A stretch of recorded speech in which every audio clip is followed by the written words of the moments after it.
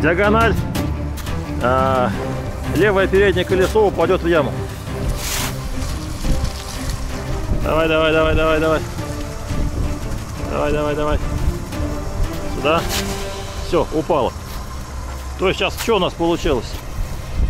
Если машина будет выезжать, то колесо будет упираться, будет какое-то препятствие. Сейчас пониженное, раз блокированный.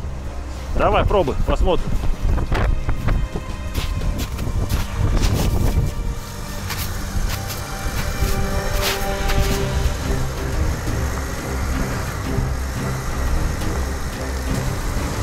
Заметили? Все, выезжай. Давай на своей. Сейчас загоняем короткую. Ни шагу влево, ни шагу вправо. Блокировок никаких нету. Ну, стандартный заводской автомобиль.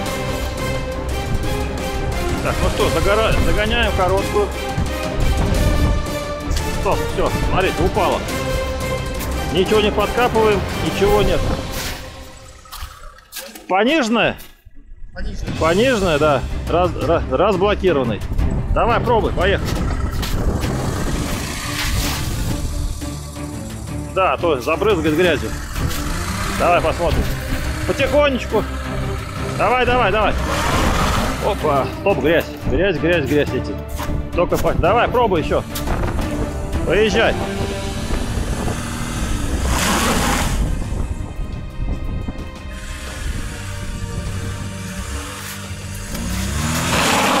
То есть упирается вот это только колесо. Вот, видите? Давай, э, блокируй раздатку. Смотрите, раздатку блокирует.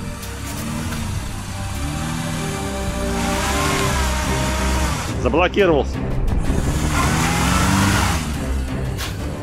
Ну, покрути. Крути, крути, посмотрю. Три колеса. Задняя стоит.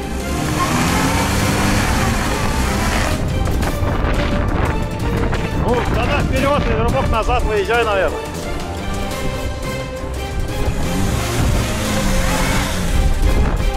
Отлично. Ну что, я думаю, не зря я, наверное, этой темой занялся, да? Три блокировки именно дифференциала повышенного трения от производителя АВТ, как видите, работает. Я даже раздатку не блокировал, все происходит, я думаю, произвольно и самостоятельно. То есть колесо э, на какой-то передней части или задней начинает буксовать, раздатка это все видит, блокируется и передает 50% на каждую ось. Это мое мнение, субъективное. Ну и Евгений тоже как бы, да, работает, выезжает легко. У меня выехал, как будто даже не буксануло, представляете? Ну что, дальнейшие тесты все покажут, как говорится. Жду от вас подписку, обязательно подписывайтесь, ждите, э, видео будет интереснее дальше. Обязательно лайк поставьте, напишите комментарий и поделитесь этим видео, кому интересно, про тему Нивы. Все, давайте пока жду от вас подписку, ребята.